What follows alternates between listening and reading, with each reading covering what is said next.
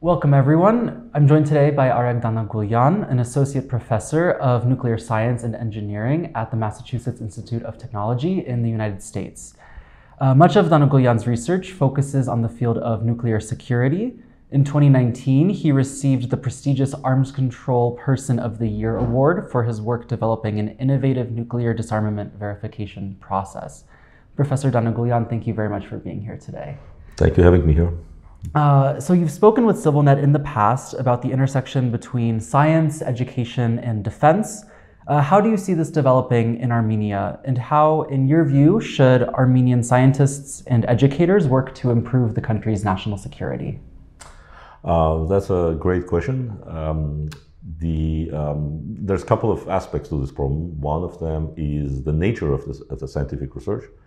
Um, there is quite a bit of what is referred to as siloing in uh, research, in that people work on a particular type of problem and they really don't look outside of the problem. Okay, and a lot of scientists historically were sort of their culture was that of really only thinking about a particular area they're working on, rather than seeing themselves as citizens and people who could use the could bear their skills, uh, bring their skills to bear on societal problems, and defense being one of the perhaps most acute ones in, in case of uh, in case of Armenia. Um, a lot of that it's in it in itself comes from the way uh, scientists are raised at the level of university education, but also even how kind of at the school level how children are often raised to really focus on one thing and not think about other things because it's none of your business, uh, which is very which is very sad. Um, uh, we talk a lot about multidisciplinary research okay, everywhere, not just in Armenia, in the world.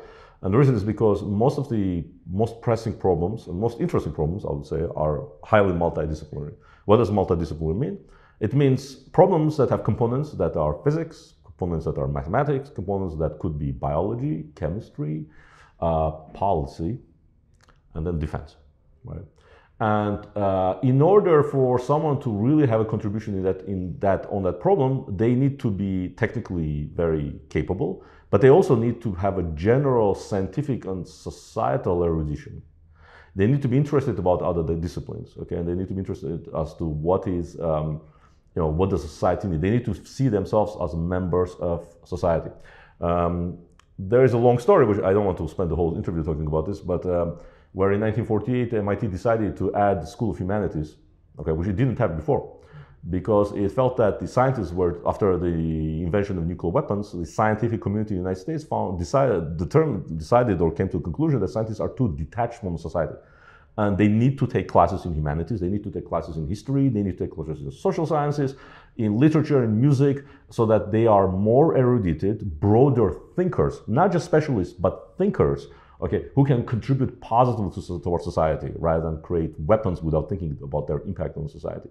Um, if you look at the curriculum in the Armenian um, institutions of higher education, you'll notice that it's like it's all let's say in physics. I, am fair, fairly familiar with the physics curriculum. Like it's all physics and mathematics. There is trivial amount of humanities and social sciences, and even other disciplines such as chemistry and biology are mostly missing. Okay, which is very unfortunate. It's extremely unfortunate, and many people I talk to they don't even understand what I'm talking about when I when I talk about the importance something that is so obviously seen as so obviously necessary in the West, in in the United States specifically. Here, very often is seen as like, why would a physicist want to learn about biology? You know, like yeah, because you know most of the problems are at the intersection of physics, biology, chemistry, and all the things. Um, now, specifically about the defense, so defense is just one of the examples of multidisciplinary research, right? There's nothing really too too uh, too special about defense or defense industry or anything like that. The defense industry is mostly just a, you know, um, um, is a derivative of civilian industry, right? Uh, um, the problems over there are further bigger because if you want to have an effective contribution to defense and security, you need to work with the military establishment. And the military establishment needs to work with the scientific, technological, engineering um, community. Okay, so how is it organized in the in the West and specifically in the United States? I'm most familiar with the United States because I worked in not exactly in field of defense, but I worked in field of cargo security, which is somewhat related to, to somewhat related to defense.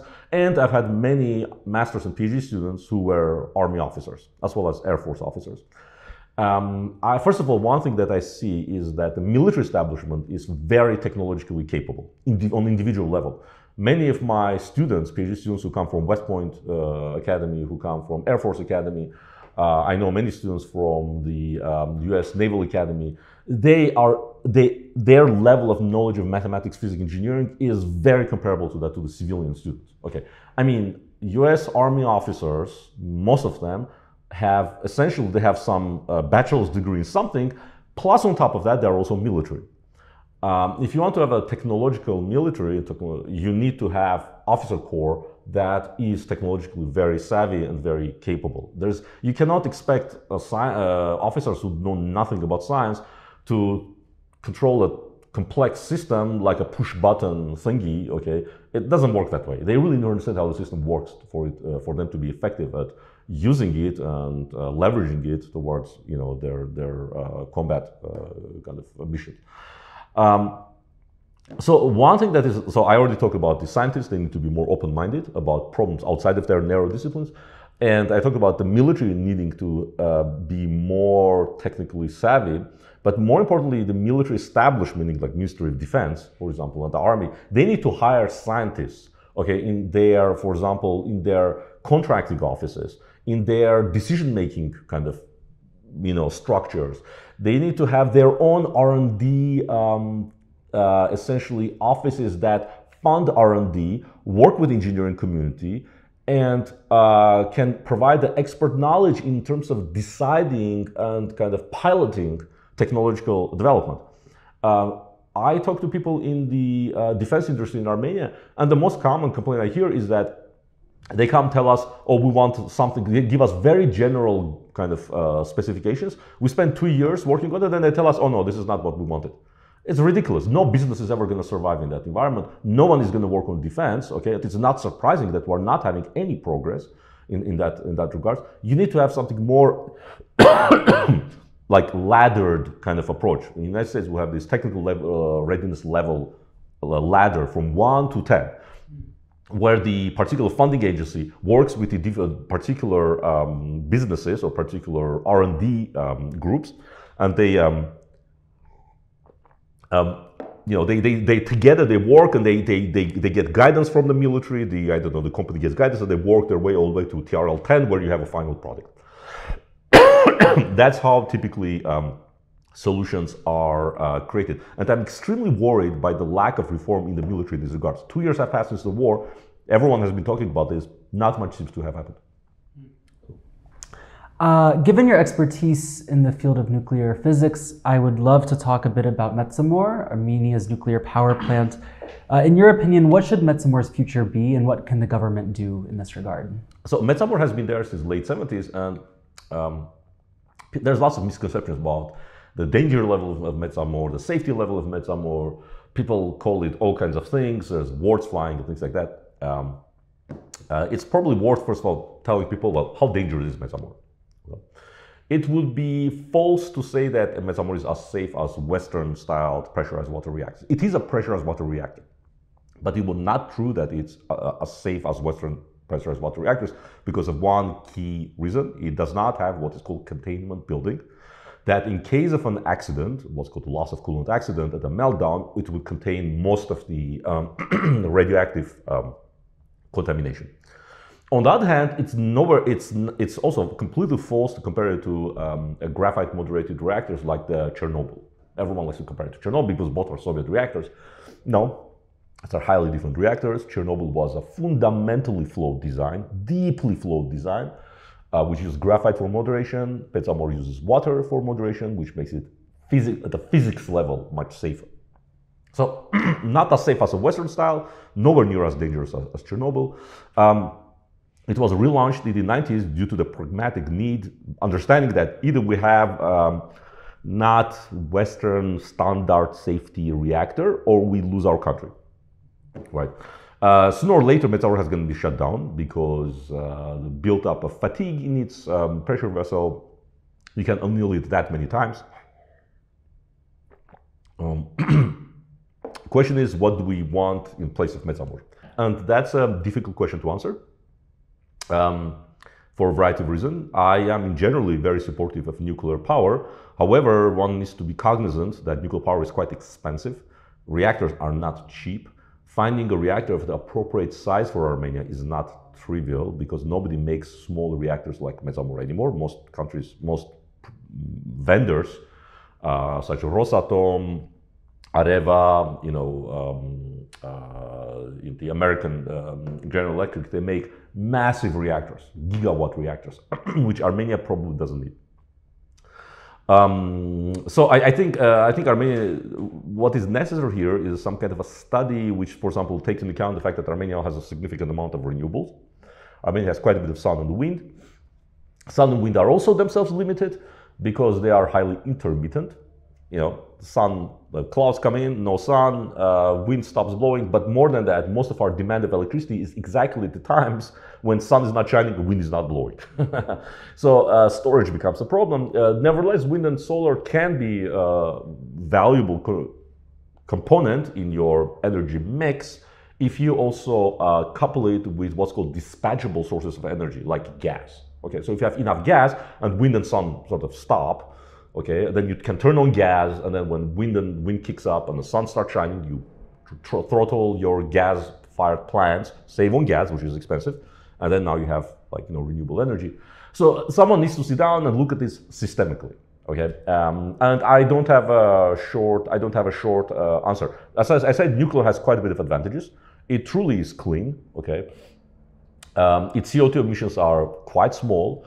Okay, uh, in terms of overall safety per unit of energy produced, it's significantly safer uh, than gas. Okay, it's much safer than coal okay, which is kind of there's we have this preposterous situation in, in, in, Germany that's shutting down nuclear power plants and they're, they're increasing gas, uh, they're burning gas, which is killing people by every year about half a million people die from uh, coal ash from coal-fired power plants. Okay, for, for comparison, every year half a million. Uh, like for comparison, number of people who died in Chernobyl was 50,000. So every year we have 10 Chernobyls worth of people dying from coal, and everyone is okay with that. Every year. Okay. Um, so uh, to come back to the question, I hope that there will be some, some systemic approach towards this problem and there will be some kind of a solution. You know, um, I, but, but yeah, it's, it's, a, it's a very important uh, question because Armenia's energy needs are going to increase over time and then we're probably going to lose Metsamor at some point because it's getting older and older. And we need a solution soon. If we have to replace Metsamor with another nuclear power plant, it takes at least five years to build one and like we should be building one tomorrow if that's what we're going to do okay and then we have to decide whether we're going to do it so this is actually quite a bit of a critical uh, question uh, I'd also love to talk a bit about the launch of Armenia's first ever space satellite in May, which attracted quite a lot of attention, both here in Armenia and in the diaspora. Uh, the government has said that the satellite will have a wide variety of issues, including in defense. Uh, I'm wondering, what are some real expectations we can have from this development?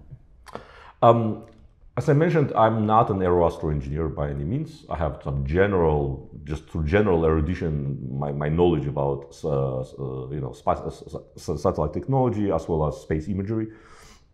So what I understand is a 16U satellite. It's about this big, 16 liters. Um, it's uh, part of this what are called uh, you know microsats, nanosats, which essentially what you do is that rather than launching one big satellite, you launch a bunch of satellites together and there's multiple customers everyone has their satellite and uh, then the company that launches it also provides some of the you know, telemetry and some of the management of the, uh, of, the of, this asset um, from what I understand from this from the satellites, it's about this big. It has a you know diameter of about, if I'm not mistaken, 20 centimeters. The you know the aperture.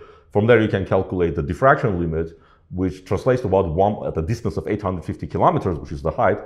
Um, it has a resolution of about 1.7, 1.8 meters. Whether that can be used in, in defense, mm, maybe, maybe it can be used. Maybe you can differentiate, let's say, a tank from a truck, or you can at least find that there's some vehicles moving around. You probably cannot identify, well, you probably cannot see if there's like accumulation of like, let's say, personnel or something like that. Most of the time for defense purposes, you need something like less than a meter resolution, significantly like, like kind of half a meter resolution, right? Uh, Google uh, Maps has like better like better resolution than that, right? Um, uh, typically, this type of satellites, from what I understand, I may be wrong, but what I understand, are mostly used for like agricultural purposes, for management of uh, you know environmental resources and things like that. Uh, and um, while there are satellites, there is satellite imagery already you can buy. Okay, there are services that will that will sell it to you. The advantage of having your own satellite is that you can have essentially you control everything. Nobody can intercept it. Nobody can sort of, uh, in case of I don't know crisis, can come and sort of take away that uh, capability from you.